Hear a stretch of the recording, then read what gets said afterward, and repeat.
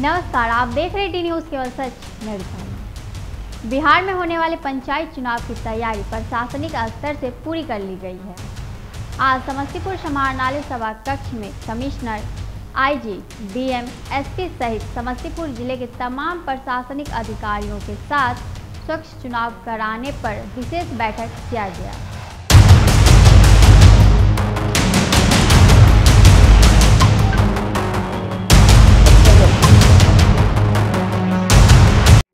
पहला फ़ेज़ कुछ जिलों में हो चुका है। सेकेंड फ़ेज़ से फिर हमारे तीनों जिलों में, मिथिला क्षेत्र के तीनों जिलों में सेकेंड फ़ेज़ से चुनाव स्टार्ट है। तो उसी के क्रम में जो तैयारियाँ की जा रही हैं, उसी की समीक्षा हेतु कमिश्नर साहब और मैं आज यहाँ पर आया हूँ। डीएम साहब और एसपी साहब उपलब्ध हैं। तीनों सब डिवीज़न के एसडीओ साहब एसडीपीओ साहब हैं और जो महत्वपूर्ण कार्य कर रहे हैं यहाँ पर लोग, वो सभी पदाधिकारी यहाँ पर उपलब्ध हैं। इन सब के साथ हम लोगों ने विभिन्न तैयारियों की समीक्षा की है और पाया है कि सभी तैयारियाँ बिल्कुल समय पर हैं, सही समय पर सब लोग चुनाव करा पाएँगे। पुलिस की तरफ़ से मैं बता दूँ कि सभी मतदान भवनों पर सभी जगह सशस्त्र बल स्टैटिक भी रहेगा। इसके अलावा कई मल्टी लेड पेट्रोलिंग भी होगी। हर पंचायत पर सेक्टर पेट्रोलिंग होगी, हर पंचायत एक दो सेक्टर रहेगा जोन रहेगा, थाना की गश्ती रहेगी। क्लस्टर सेंटर रहेंगे जहाँ पर स्पेयर ईवीएम्स रहते हैं। कहीं कुछ हुआ गड़बड़ तो तुरंत वहाँ से रिप्लेस कर दिया जाएगा। और ये सारे जो स्टैटिक फोर्सेज और मल्टी लेयर्ड ये जो पेट्रोलिंग है, ये सब आपस में लिंक्ड रहेगी और जिला कंट्रोल से, प्रखंड कंट्रोल से लिंक्ड रहेगी। सभी के पास सभी लोगों का नंबर रहेगा। कहीं से भी कोई गड़बड़ी की सूचना आती है, तुरंत कार्रवाई हो जाएगी। सभी बलों को ये ब्रीफ कर दिया गया है और किया जा रहा है कि जो भी गड़बड़ी फैलाने वाले तत्व नज़र आते हैं या तो इलेक्शन के पहले या इलेक्शन के दिन उन पर कड़ी कार्रवाई की। अभी काफ़ी संख्या में लोगों के खिलाफ 107 की कार्रवाई 116 में बॉन्ड भरवाने की कार्रवाई की जा रही है।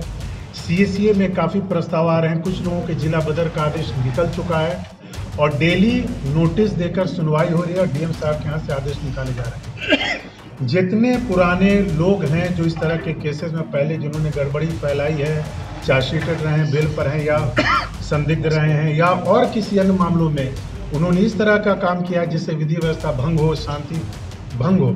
ऐसे सभी लोगों को चिन्हित किया करके उन सब के खिलाफ कार्रवाई की जा रही है और प्रत्येक बूथ पर ऐसे लोगों को चिन्हित किया जा रहा है जो संभावना है, संदेह कि हो सकता है डिस्टर्ब करें। तो एक मैसिव स्तर पर प्रिवेंटिव सेक्शन के काम किए जा रहे हैं। ज़िले में कई जगह नाके लगाए गए हैं।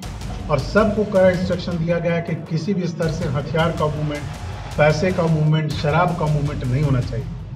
सभी चौकीदारों को रिस्पॉन्सिबिलिटी दी गई कि उनके क्षेत्र में कहीं से बाहर से चुनाव वाले दिन या पहले शराब आने की सूचना होती है, हथियार आने की सूचना मिलती है, या उम्मीदवार पैसा बंटवाने की सूचना मिलती है, इसकी सूचना तत्काल थाने को देंगे और उस पर तत्काल कड़ी से कड़ी कार्रवाई की जाएगी। चौकीदार अगर इस काम करने में अगर वो फेल करते हैं तो उन पर भी कार्रवाई, बहुत ही कड़ी कार्रवाई की जाएगी। सभी जगह सशस्त्र बल रहेगा प्रिवेंटिव सेक्शन आप लोग देख रहे हैं। हम लोगों ने लोगों को चिन्हित कर दिया है।